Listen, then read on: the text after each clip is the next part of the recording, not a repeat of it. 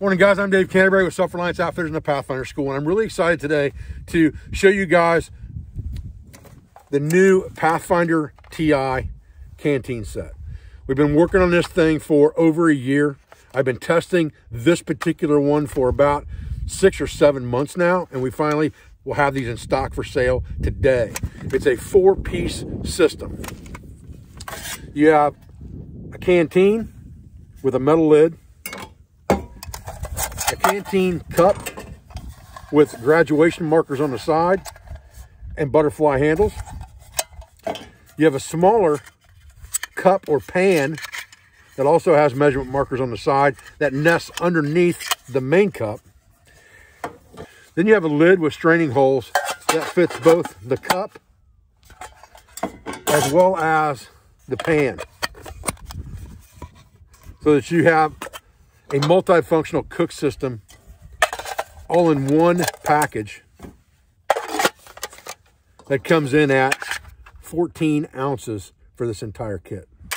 This canteen set fits all of the standard MOLLE bags that are on the market today. It is a fairly tight fit, but it does go in there. And it also fits the Helikon Essentials bag. The next piece that we're releasing today is the Pathfinder titanium stove. The stove folds smaller than a Bic lighter it puts out over 3,000 BTUs and it weighs 0.9 ounces. Nice little stove. And again, like I said, this folds down smaller than a Bic lighter. Now, I spent some time on these titanium stakes. I wanted to come out with a stake that was better than the normal stake that you see on Amazon like this one because I've bent a lot of these and they're awful short, so they don't hold really well in this softer soil out here in southeast Ohio.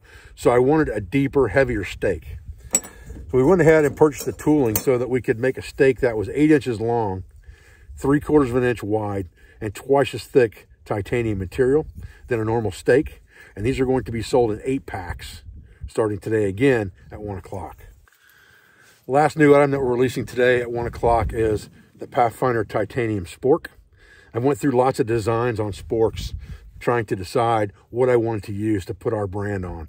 And this one is the one that kind of shined over the rest. It's got a nice smooth bowl on it. I like the way it fits in my hand.